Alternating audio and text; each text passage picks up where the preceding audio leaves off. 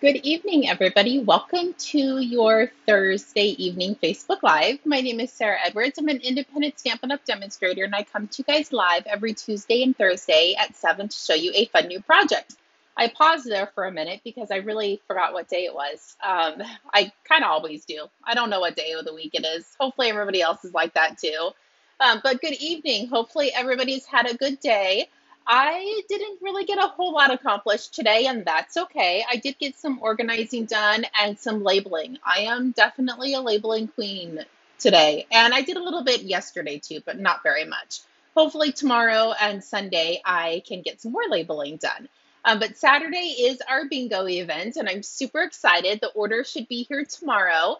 Um, I have a few doctor's appointments actually all day long, so I won't be home to get the package, but it should be arriving any day, anytime now. Super excited.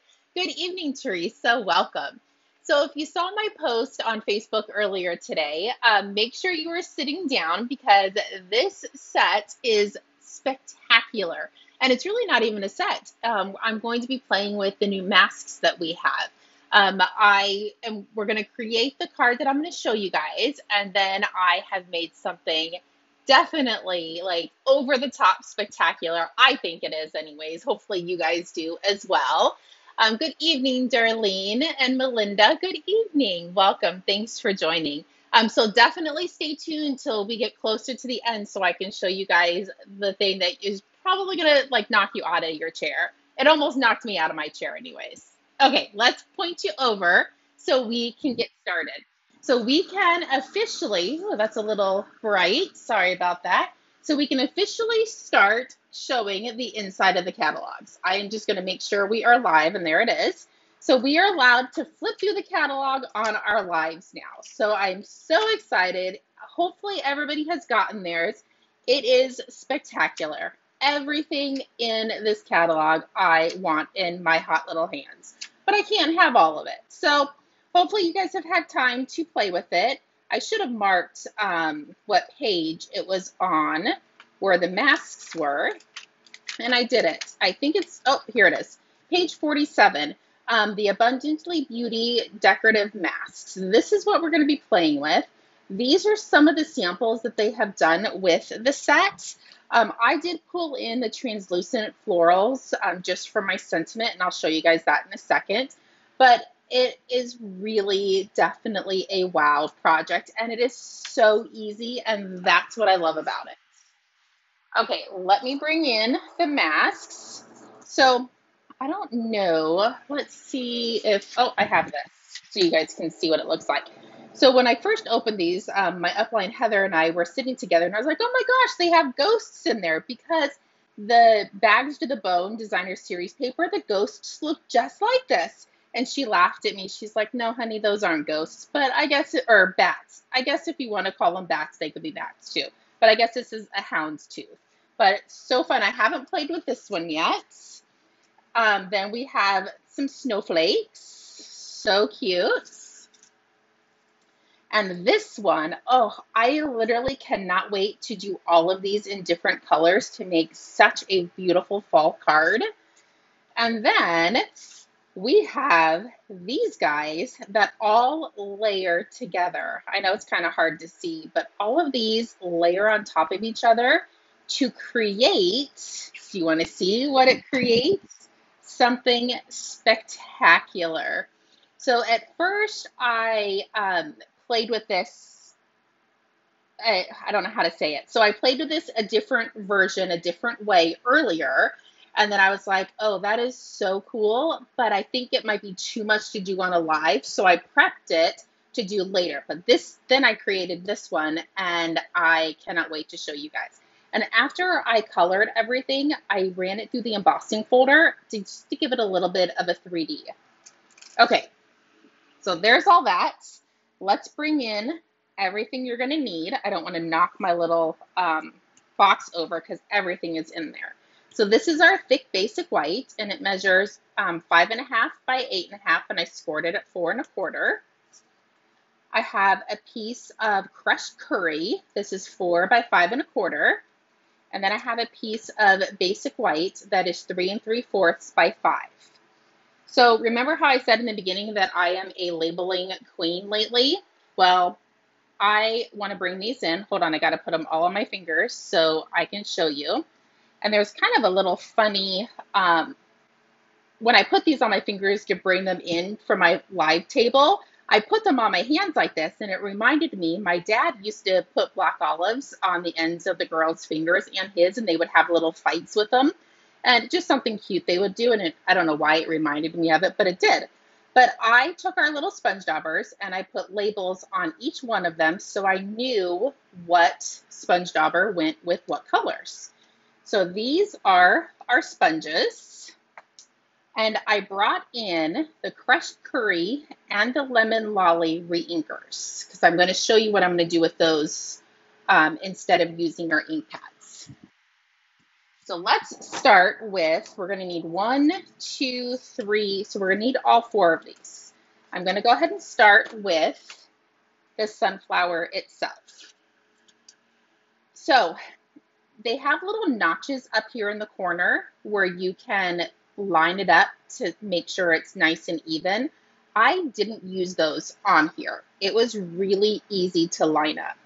So I am just going to put that down and I'm going to bring in my block and I'm going to grab some of my reinker. So this is the lemon lolly. I'm going to put a couple dabs of lemon lolly there.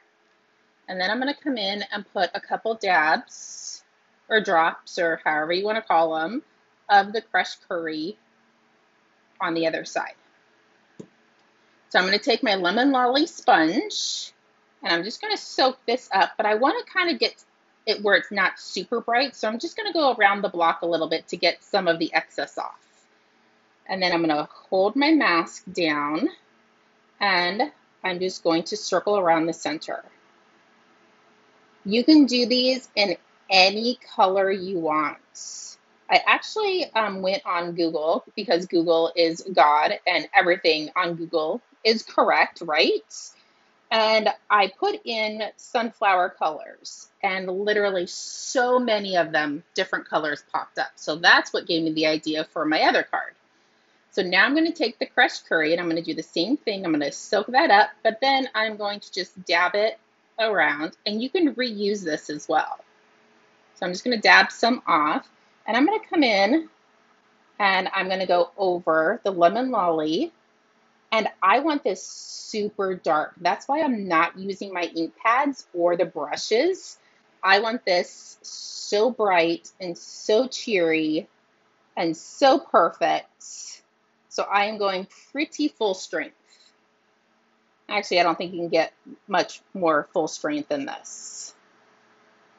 Okay, so now I have colored all of my pieces, and if you want anything darker, you can. Now, I will give you a little tidbit.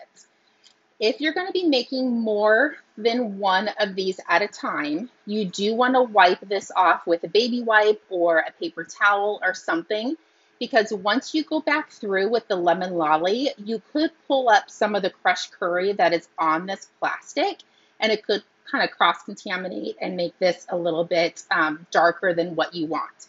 So make sure that you're wiping this off if you're going to be doing more than one. But here is what it looks like so far. Let me pull it up so you guys can see it. Isn't that so fun? And I've seen a lot of people fussy cut these out as well. Okay, so let's start with, we are going to do the inside portion. And that one, I am not going to use um, the reinkers because I want this to be light. So I am going to grab my crumb cake and grab my crumb cake dauber. And because I tapped it, it is going to be a little darker. So just gently kind of swirl. And then once you see how the color is, you can go a little bit harder. You just don't want it to be super overpowering. And I didn't re-ink this doing all three of them. I just did them all in one. So there's that guy. Let me close this so I don't accidentally dab it in the wrong one. I have my pecan pie, and that one is going to be this guy. So I'm going to set this on. You see how easy it is to line it up? Like, really, it is not tragic. Grab your pecan pie dauber. And this one, I am going to go a little bit darker, a little bit harder with my pressure. And I am going to go ahead and re-ink in between because I want this to be nice, bright, and bold. Okay, I'm going to leave that there. I'm going to close this up. Are you guys ready to see this so far? Ha ha! Isn't it magical? It is so phenomenal. Okay, I should have brought a piece of paper over, but I didn't. So I am going to now line up my leaves. And I'm doing this, I put something underneath just because I don't want to get ink on my workstation. So I'm going to grab the old olive. And your leaves will hang off a little bit, which is totally fine. And I want these guys nice and bright too. So I am dabbing it for each one.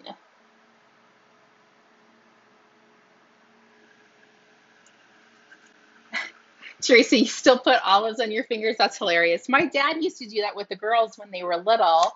And I don't know if they still remember it, but I totally remember them doing that. Okay, there it is. Is that not absolutely gorgeous? So fun, so different, and so easy. And you probably can fall out of your chair on this. It is that cool. So I'm going to bring in my embossing machine. And I'm going to have my large plates. I have my embossing folder. Line up my edges. Run this through. There we go. I'm going to set this on the floor really quick just so it doesn't fall off. And even though I loved it just like this with it being embossed, I wanted to add a little bit more. So I'm going to bring in my block that has the ink on it and I want to sponge the edges. And I am re-inking probably more than you need to, but I want it bright and bold. I don't want to faint sponging on the edge.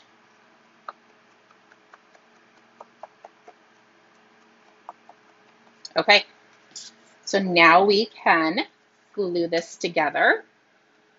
And I know um, a lot of the times I get asked how I decide um, what colors I'm using. Um, and I usually start, if I, if I know I'm using ribbon, I usually go to my little ribbon rack, see what color ribbon I have, and that will determine the color inks and designs that I do. So I had some lemon lolly ribbon in my stash. So that's why we have lemon, that's why I use the lemon lolly in um, the card.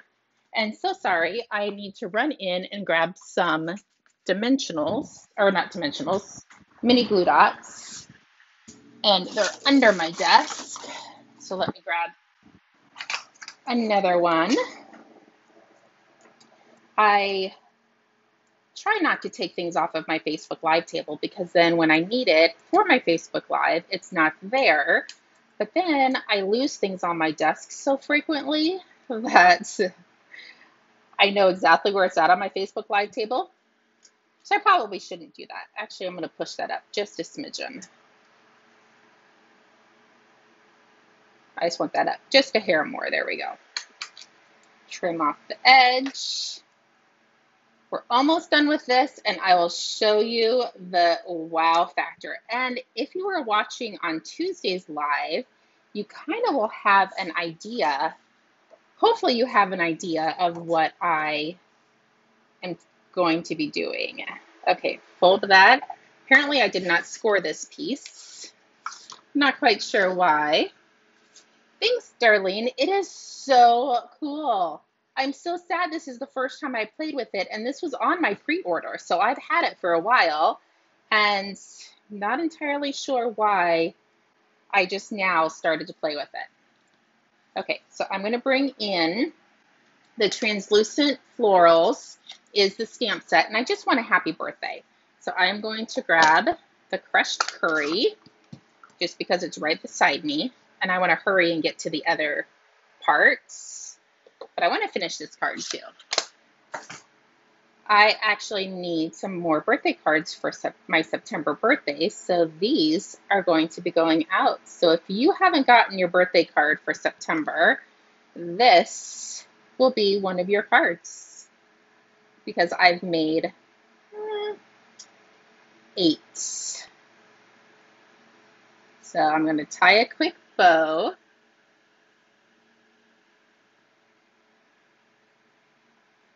There we go. uh, trim off the edges, grab a mini glue dot. We'll get this going, and then we'll move on to the next fun thing I have for you. And three is definitely too much, but I need to hold the ribbon down. There we go. Put the bow on.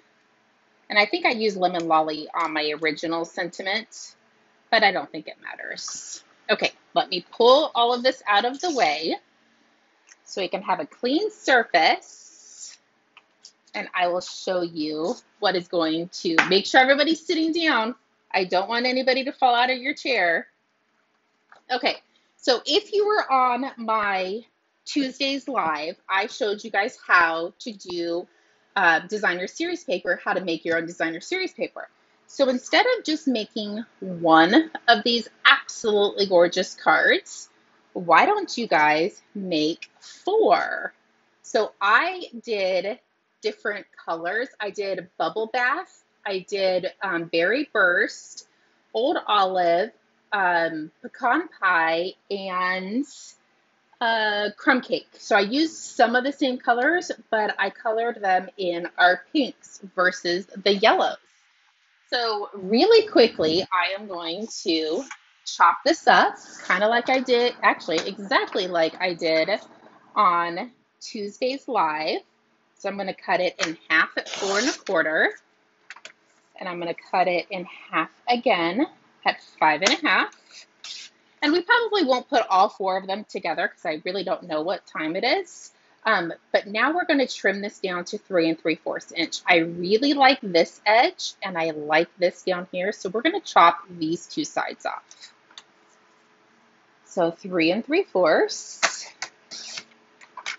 And this one is going to be at five.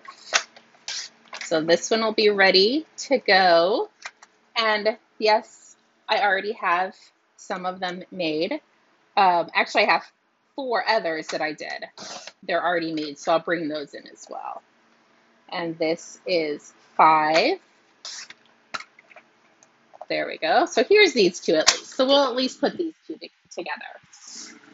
Now, because I used so many different colors when I was coloring these guys, I went ahead and just did my four by five and a quarter pieces out of the same color combination.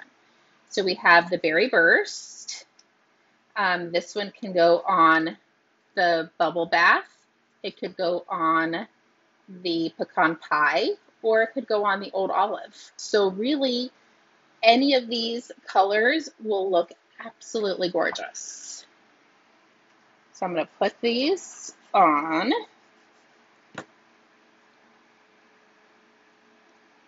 So did anybody fall out of their chair? It was probably a little dramatic. I might be a smidgen of a dramatic person, but it was super cute. So instead of making one, just do it on a full sheet of our cardstock and you can make four.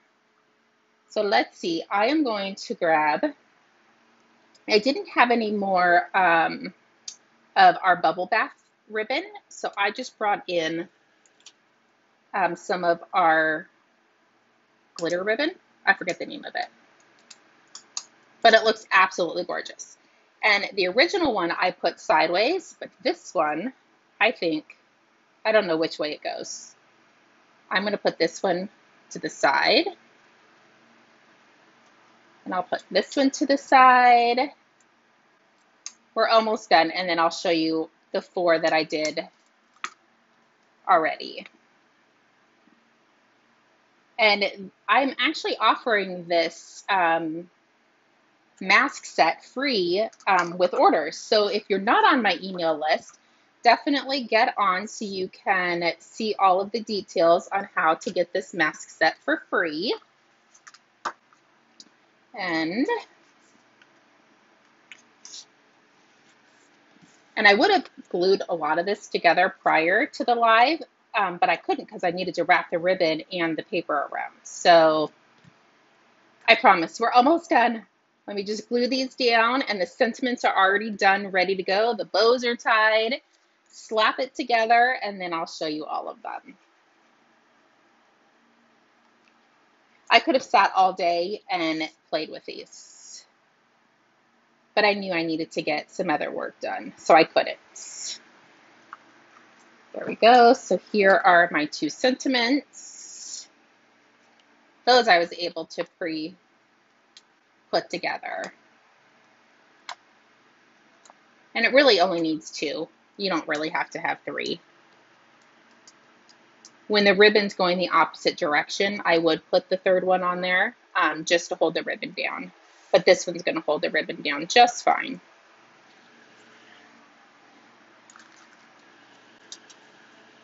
Oh, hi, Peyton. Thank you. See, the pink flowers, I think, are perfect. I love the yellow, but you could do them in all of our purple colors as well. So there we go. So here are the two we just did, but let me bring in the four that I did earlier. So we do have the um, pecan pie ribbon. We have some old olive ribbon. Here is the glimmer shimmer ribbon. And this is the bubble bath that I ran out of. I literally just had enough for this card. So I had to kind of move these around. But they are so fun and so different. I really hope nobody fell out of their chair.